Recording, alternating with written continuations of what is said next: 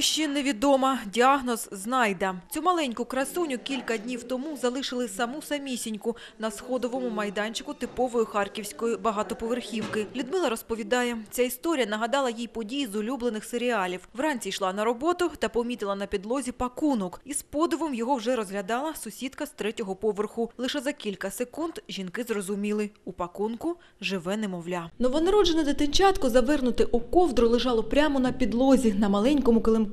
Жінки, які знайшли дівчинку, кажуть, вона зовсім не плакала, а тільки тихенько кряхтіла у вісні. Дівчинка була зовсім крихітна. Пощастило, що не дивлячись на легке вбрання, тоненьку шапочку, повзунки та сорочечку, замерзнути вона не встигла, каже Людмила. Як звати дівчинку, жінки також не знали. Записки в пакунку не було. Да, вот, вот так, вот так между дверьми. Вот, вот этот просилочек, то коврик, и он лежит. Кому призначався живий подарунок, жінки і гадки не мали, тому викликали швидку та міліцію. Немовля відвезли до перинатального центру. Тамтешні лікарі розповідають, дівчинка народилася кілька днів тому і, скоріш за все, у домашніх умовах. Про це свідчить пуповина, перев'язана ниткою для шиття. Девочка была доставлена эм, обогретой, неохлажденной, одета в ползуночки, распашоночку, укрыта одеяльцем.